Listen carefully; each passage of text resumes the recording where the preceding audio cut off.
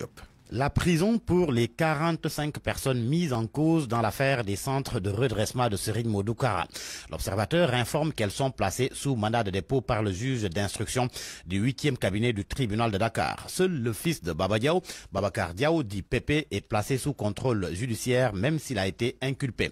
Ce que confirme le quotidien qui parle de 42 personnes placées sous mandat de dépôt sur les 43 inculpés.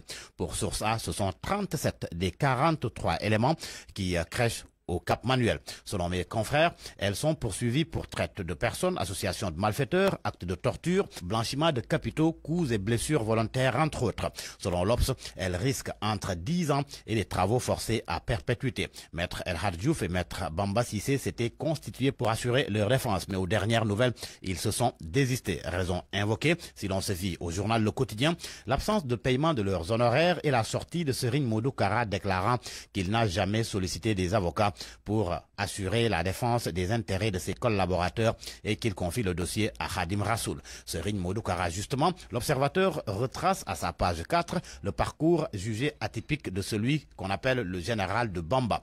L'Obs évoque par ailleurs le rebond de la maladie à coronavirus et informe que 14 morts ont été déjà enregistrés depuis que les prémices d'une deuxième vague se font sentir. D'où l'alerte des syndicats d'enseignants dans Sud Quotidien. Cela du fait du non-respect du protocole sanitaire dans les écoles. Mon confrère rapporte que les syndicalistes constatent que les directives sont loin d'être appliquées dans les écoles pour éviter la propagation de la maladie depuis la reprise des cours. Pendant ce temps, Enquête s'intéresse à la riposte contre le Covid-19 et fait état d'un vaccin de la peur. Le journal souligne que la course effrénée pour un vaccin se fait sans toutes les précautions et respect des étapes préétablies, au risque d'exposer les populations à une solution aux conséquences non maîtrisées.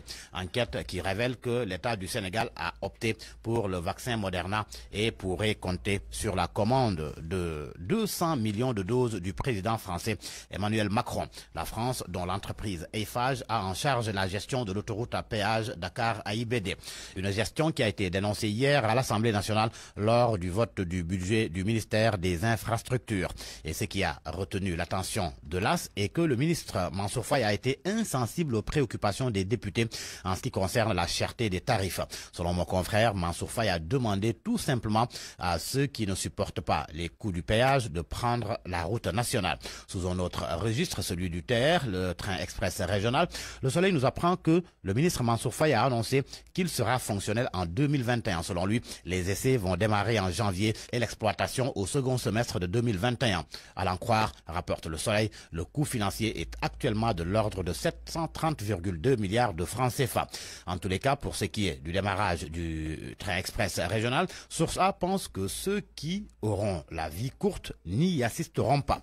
Le journal considère l'annonce de Mansour Faye comme une promesse marron beige qui pourra encore fondre comme beurre au soleil. La gestion au FOGIP, le fonds de garantie d'investissement prioritaire, Doudouka a rattrapé par sa gestion, du moins si l'on en croit le témoin. Oui, mon confrère parle même d'une gestion qui est loin d'être sobre. Et pour cause, près de 2 milliards de créances, deux appartements acquis à 1,2 milliard de francs CFA pour abriter le siège de la structure, des chiffres qui, de l'avis du journal Le Témoin, manquent de sincérité. À la une de Libération, la RMP confirme le scandale autour de la convention signée avec l'État. Canal Plus se sucre dans l'illégalité. Le journal clame que depuis 9 ans, Canal Plus exerce en toute illégalité. C'est ce que confirme un avis rendu par le comité de règlement des différends dans les marchés publics 4 novembre dernier.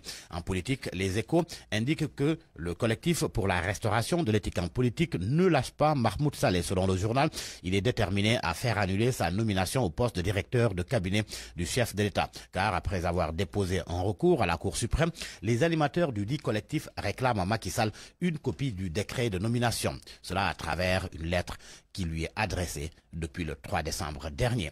À vos kiosques et bonne lecture. Point de vue. Point de vue. Regard